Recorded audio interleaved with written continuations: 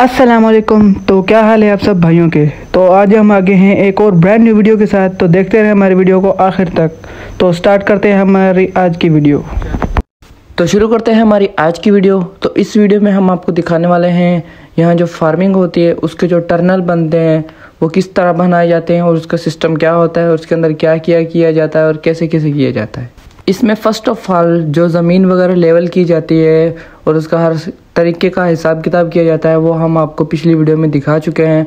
और अभी हम आपको दिखा रहे हैं ये कैसे ये इनों का जो है स्ट्रक्चर बनता है, ये जो बने हुए हैं ऐसे बॉक्स बॉक्स बने हुए हैं, क्योंकि हर एक वक्त के बाद जगह छोड़ी गई है जाने की। ये जो नज़र आ रही है आपको, ये आने जाने की जगह छोड़ी गई है। हर एक शर्ट के बाद जिसे हम बॉक्स भी कह रहे थे अपने लफ्ज़ों में, नोट कर लो फिर ना क्यों दसिया नहीं। और ये जिधर शापर को रोलर किया गया है, इस जगह पर पहले तार बांधी जाती है, वो भी हम हर चीज़ आपको पिछली वीडियो में दिखा चुके हैं।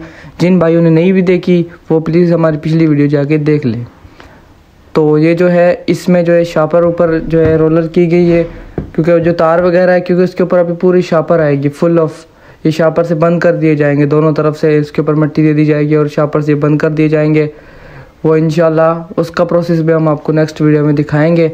इसका जो है, ये मिड वाले जो डंडे बड़े रखे जाते हैं और साइड वाले थोड़े छोटे रखे जाते हैं, इसका भी हिसाब किताब होता है, इसके भी मेज़रमेंट होती है। वो हम आपको पिछली वीडियो में भी इनशाला दिखा चुके हैं।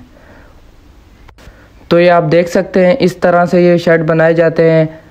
तो कई हैं जो शर्ट पहले बना लेते हैं, उसके बाद इसमें जो खेलियाँ निकाली जाती हैं और कई होते हैं खेलियाँ निकालते हैं, उसके बाद शर्ट लगाते हैं। अगर आप पहले खेलियाँ निकाल लेंगे, उसके बाद शर्ट लगाएँगे तो खेलियाँ ख़राब हो जाएँगी। इसलिए जो है, पहले ये शेड बनाया जाता है, फिर छोटे ट्रैक्टर से उसमें खेलियाँ निकाली जाती हैं।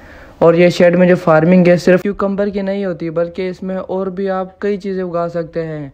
जैसे कि करेला हो गया, टमाटर हो गए, और भी कई चीज़ें आप उगा सकते हैं। इसमें अभी जाली लगाई जाएगी और तारे मारे लगाए जाएँगे, उसका बहुत लंबा चौड़ा सिस्टम है। नीचे भी इसकी शॉपर लगाई जाएगी ब्लैक कलर की, ऊपर वाइट कलर की होगी। नीचे इसलिए उस पर जो घास वगैरह ना उगे और हर तरह का प्रोसेस और ये जो है, ये पानी के लिए दी गई जगह, जिसे खाला बोलते हैं। और ये साइड आप देख सकते हैं, इधर मज़दूर काम भी कर रहे हैं। जो है, ये डंडों को बांधा जा रहा है। कोई कोई डंडा जो खुला छोड़ा गया है, वो देख सकते हैं आप, ये खुला छुटा हुआ है, कोई कोई डंडा। क्योंकि एक साइड बांधते हैं, फिर दूसरी साइड बांधते हैं। ठीक है ना? इस लिहाज से कई डंडे देखिए आप, खुले हुए नज़र आ रहे हैं, ये वो बाँध रहे हैं मजदूर। ठीक है?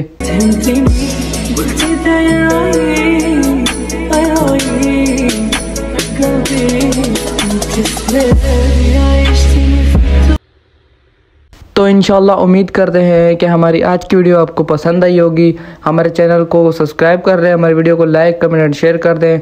जजाकल्ला दुआ में याद रखना।